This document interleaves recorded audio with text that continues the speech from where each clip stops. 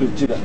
چې دا څومره پوستې ستاسو په استقامت کې ډېرې خاص کونړ نه نیولې بیا تر لالپورې پورې دا ستاسو یوه جبهه ده د حمایت په خاطر باندې تاسو قمندان کنده کمیر کړ چې در ټول په جریان کې دي کلکه باید دفات نه چې یو ټاک پاکستان په وکولو چې سرحدیان درته وویلې چې یو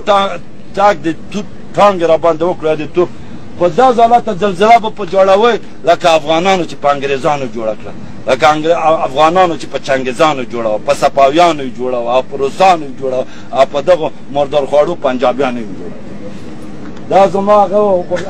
ویل لږ زیات چې زیات سره مصروف نشو بچه های دیگه مسلکات هستن انجینری مترسل کل سر وظایف خودتان متوجه باشین با هماهنگی با تشریک مسیحی مشترک با یک کمک با یک افغانیت با یک اسلامیت یک گدر یک خانه هستیم سر پلیسی سرحدی نظم آمه ملی سر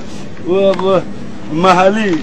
امنیت ملی ولسوالا چیزی که از کلک ما شما یک خانه هستیم یک برادر است وطن ما شریک است ادب ما شریک است دشمن ما شریک است از وطن خود به شریک دفاع